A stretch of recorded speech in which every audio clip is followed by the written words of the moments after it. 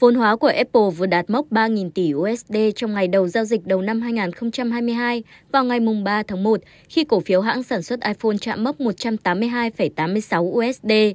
Tuy nhiên, trước phiên giao dịch, cổ phiếu Apple tạm dừng ở mức 182,01 USD trên một cổ phiếu, tăng 2,5% so với phiên trước đó, khiến vốn hóa chỉ sấp xỉ mốc 3.000 tỷ USD.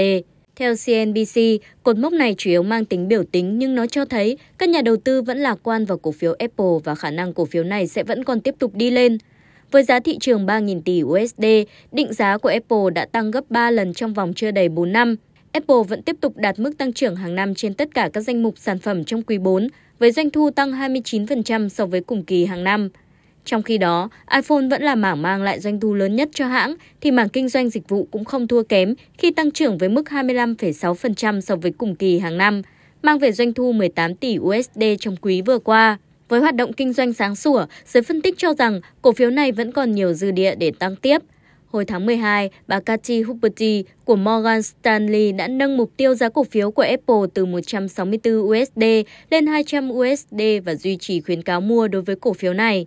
Theo bà, các sản phẩm mới như tai nghe thực tế ảo và thực tế tăng cường chưa được tính vào giá cổ phiếu. Bà Huberty hy vọng rằng doanh thu trong quý 4 của Apple App Store sẽ cao hơn dự báo của Morgan Stanley và Apple đạt mốc xuất xưởng 83 triệu sản phẩm trong quý tính đến hết tháng 12, tăng 3 triệu so với dự đoán trước đó. Nhà phân tích Minh Chi của TFI Asset Management Limited cho biết trong kỳ nghỉ lễ, Apple đã bán được 27 triệu đôi AirPods mẫu mới, mang lại mức tăng 20% so với cùng kỳ hàng năm cho mảng thiết bị tai nghe trong quý 4.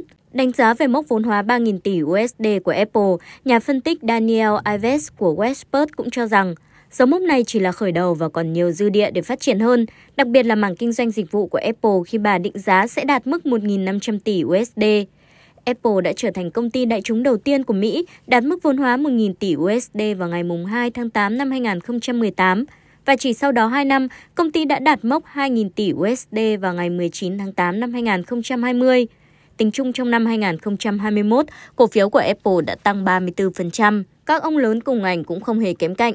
Vốn hóa của Microsoft cũng đang ở mức khoảng 2.500 tỷ USD, Amazon khoảng 1.750 tỷ USD và Google gần 2.000 tỷ USD. Theo New York Times, nếu so với Walmart, Disney, Netflix, Nike, ExxonMobil, Coca-Cola, Comcast, Morgan Stanley, McDonald, AT&T, Goldman Sachs, Boeing, IBM và Ford kết hợp lại, gã khổng lồ công nghệ Apple vẫn đáng giá hơn. Sau khi giá cổ phiếu vượt mốc 182,86 USD trên một đơn vị ngay trong phiên giao dịch đầu năm 2022, Apple chính thức trở thành doanh nghiệp đầu tiên trên thế giới có vốn hóa thị trường đạt 3.000 tỷ USD.